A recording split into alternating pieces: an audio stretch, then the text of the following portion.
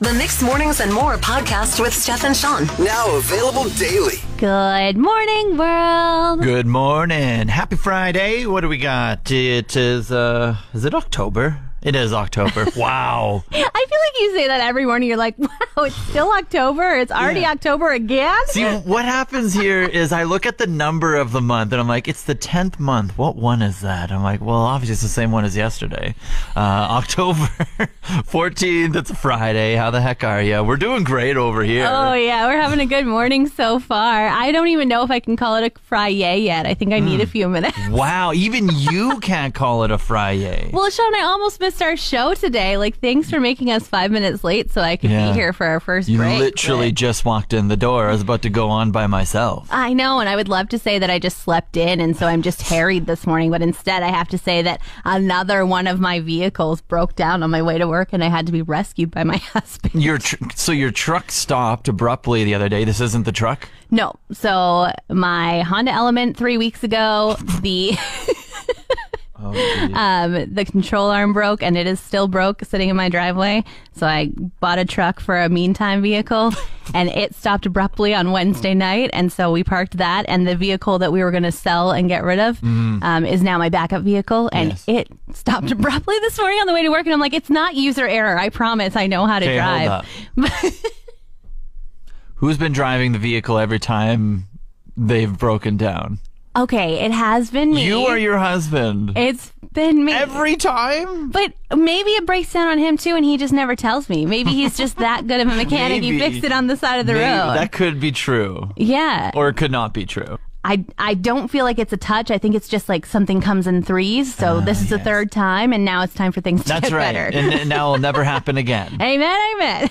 I got recruited for Fort Mac's Got Talent the other night, Steph. Recruited? I- what talent did they want you to Yeah, do? yeah. I, I, I just finished up a, a side gig at the casino the other night, and lo and behold, on my windshield was these tickets for me to come out to Fort Mac's Got Talent. Oh, wow. Okay. It was at Showgirls. Oh. um. So Is that a talent of yours I'm unaware of? maybe, ma- yeah, amateur night. You know. Although I will say, What on, t-shirt contest? uh, yeah. So they just put these tickets. I think they just want people to come to their place uh, from the casino because they're probably maybe they're hoping people have money from the casino, Hmm. and then they uh, they go spend it. But it was a Wednesday night. and It says here they so they just threw tickets on pretty much car, Oh, and that's so how I got not- recruited. So I didn't. that special. They recruited everyone, not just me.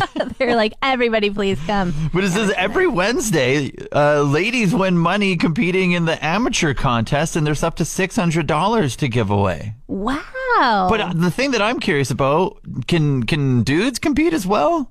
It says ladies win money. What can I win money? I want to. I want to. I want to win some money. I'm not sure if the clientele would be cheering as loud for you. I can make some dudes They- happy. I can. These hips don't lie. Yeah, but I think they've come to see something else. Fine. Well, we'll see. We'll see. I got some heads to turn. okay. I got something to prove over here. I'll trust you and not show up. oh man, a new list has come out of emojis that make you look old. Mm-hmm. Yeah, the Gen Z says uh, in the workplace essentially that these ones make them uncomfortable a little bit, and if you do them, you're older. Doesn't it make you just be like, stop making these lists? Can I not just send a monkey with his eyes covered and you understand that I'm a little bit nervous about this and I'm sorry, but I need you to do it? Yeah, yeah. The, the number one thing that they're they're complaining about is the thumbs up and how passive aggressive it seems. I get it actually. Do you? The thumbs up you really. fall into this. yeah, it makes me uncomfortable. I've sent you so many thumbs up. I know, and I always feel like you're just like too lazy to type. Like, I don't what did care. I say this morning to him to upset him? Uh, yeah, exactly. It's just like I am just gonna be like, fine, I see you, End of conversation. Yeah. See you when you get here. and maybe that's the thing is that I I need to have the last word all of a sudden. the thumbs up is the last word. It is the final. Yeah, I think I think the way that um, the younger generation is coming across with this, and how they just think like, oh, the thumbs up is just, I don't really like it. I think a more appropriate thing would be maybe like a check mark. I find it interesting that for years we heard that emojis were ruining the English language and we were completely Yeah. uh, just, you know, slaughtering all of this hard work of grammar and learning. And now Gen Z is like, give me the words. That's what I need. And it's like, oh, did the millennials do this? Are we the ones that ruined the English language? And they're like, please, can I have the English language back? yeah. If you're looking to save a little money on your growing list of subscription services, Yeah, sign me up. Netflix is now offering a cheaper version of itself. I'm always here for, to save money. What does it all include? Okay, so it includes commercials. Oh, I can deal with some commercials. I like. I watch cable. All right. It does not include a bunch of their best shows. What is the point? It does not include multiple screens. You can only watch one at once. Uh, I can live. With, I can live with that with the cheaper cost. And it does not include its regular quality. So it'll be less. Uh, Here's standard def commercial filled uh, watching shows that are seven years old. Like yeah. But it's only going to be five ninety nine. So six No. bucks a month instead of 16 for the basic or 20 for multiple screens, usually. and they're also saying that there'll be four to five minutes of commercials per hour. per hour. and no matter if you're watching a show or a movie, a movie. it'll be stopping in the middle Nope. and there'll be 15 to 30 No. seconds each ad. I'm so lost. No, I love saving money. I'm frugal as heck, but you lost me there. If I'm watching a movie, it's like it's like the trailers at the start when you're at the theater. Put them there. At the end of the movie, put them there. I'm digesting the film, whatever. I can But if you put it during, you lost me. Okay, so do you feel like you'd rather watch cable than this? Oh, I'm a I'm still a big cable. I've always been a cable advocate cuz sports. Would you rather pay $14 more a month for Netflix that doesn't have the commercials in it than this? Yeah, yeah. See, that's the thing. I'll pay for quality if I can have it like tailored to my way. So I'll, I'll happily, but I still, I do. I, I pay the 20 bucks right now and I can just kind of get in my own zone and go at it. Yeah, I wonder if this is like the beginning of the end. If they're like, you know what, cable was actually onto something Yeah. with these ads, and then we're all just like, well, I'm paying this much, this much, this much for six different streaming services. Yes. Maybe I should just get cable again, and then we're gonna have a Netflix channel and Yeah. a Prime channel, Yes. and Discovery Plus. Oh, we already do have a Discovery Plus Yeah, yeah. channel. Like, you know, Well, for it's all coming full circle. Yeah. Mm-hmm. Came across a fun TikTok just the other night, Steph, and I want to put not only you to the test, but anyone who is listening right now, wherever you're at, you can also play along with it, okay? okay. It's a little psychological test to kind of see what state of frame your brain is in. Okay. All right? Do I have to share the answer at the end? It's simple. It's simple. Okay. It's nothing wild or anything. And so I'm just going to ask you quick rapid fire, easy questions, and then just answer them as they come to mind. And then I'll play the, the psychological, the, the psychiatrist, whoever is at the end, the explanation of your answers. Okay. I'm ready. All right. What is one plus one? Two, Two plus two. four, Four plus four. eight, Eight plus eight. 16. Now, as quick as you can, name the first vegetable that comes to mind. Carrot. All right, here we go. If you said carrot, your brain works the same as about 90% of people who play this game. And if you answered a different vegetable, your brain probably continues to stay in independent thinking even when somebody else tries to lull you into simple thought patterns. So you fall into the 90% of people that also say carrot after doing a bunch of simple mathematical equations like that. Interesting. Yeah.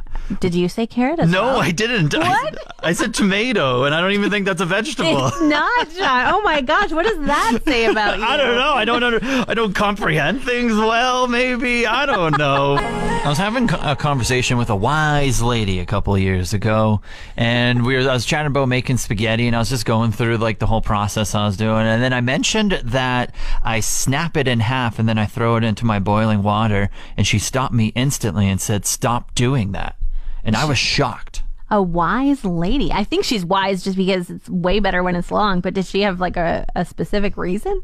Uh, I think she said like it takes away from the, the the I don't want to say the flavor because spaghetti doesn't really have like flavor, but just like the texture of it all ruins it a little bit. And I was like, oh, interesting. Haven't really noticed. And yes, no, I'm very curious. How do you make your spaghetti stuff? I absolutely don't snap it. Do you do you, whenever you do create create pasta? Whenever you make pasta, um, do you cook it in a big enough pot where you can just it all is in the water, or is some in the water and is some hanging out? Um, I cook it in a nearly big enough pot that it does not take longer than a minute or so for it to be able to fit inside. Okay. See, because this is this is the other thing that I run into sometimes. Like sometimes I use like a smaller pot, and half of if I didn't snap it, half of it would be hanging out, and then I just feel like that's rude to have some of it in there and some of it not because then it's not all cooking at the same time. Right. But then sometimes I'll use a bigger one, uh, but I always just snap it. I think that you are not realizing that there are so many other shapes of pasta you could buy to not have to alter the spaghetti. True. Like you could get fusilli, you could get fettuccine. No, fettuccine Still would be long. the same problem. But Still like long. rigatoni, Yeah. penne. There's so many options. Yeah. I just don't know why you want to ruin a good thing with spaghetti. and then, but but but then when you're eating it, aren't you? You're like biting off the long strands anyway. So the shorter strands come in to help when you're eating the Have spaghetti. you ever ordered spaghetti in a restaurant? I don't think so. I think no, I don't think so. Actually. When you do, they give you a life hack of a spoon. Oh yeah. So there's a spoon in the bowl with the spaghetti, and you know what it's for? You just stab your fork in, put the spoon underneath, and you roll and use it as a tool. And then all of the spaghetti is beautifully wrapped around your fork, and you're like, wow, I don't have to snap spaghetti ever again because they've given me this great tool. And guess what? I've got 12 of them in the drawer. I can do this at home. I too have the that tool. sounds sloppy though, and that just sounds like a mouthful when you put that much in your mouth. opposite of sloppy and you only put like two noodles on the fork when you go to you just need some training no, shawn No. buy some other pasta you're an abomination go with the penne lori it's steph and shawn from mix mornings Oh my god. See, I told you I was going to win. Just kidding. you did win congratulations Spoiler alert. That's so cool. Thank you. you are now the proud owner of two tickets to the Keyano College Gala, a platinum HydraFacial from Layers Wellness and Spa, a $300 gift card to Cobia Salon and Store, as well as a $300 gift card to Drop Dead Darlings. Congratulations. Woo! Thank you.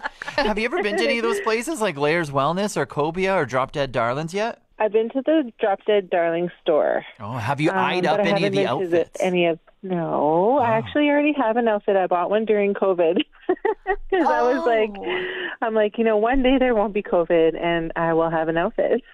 That is okay because Drop Dead Darlings has overcoats, they have accessories. Yeah, they have beautiful clothes there. Yeah, So they could maybe I'll get two. Who knows? Hey, you could do an out. You could be one of those people who does the outfit change halfway through the event. It's like, Oh my god. see me in this dress. How about this Real one? dramatic.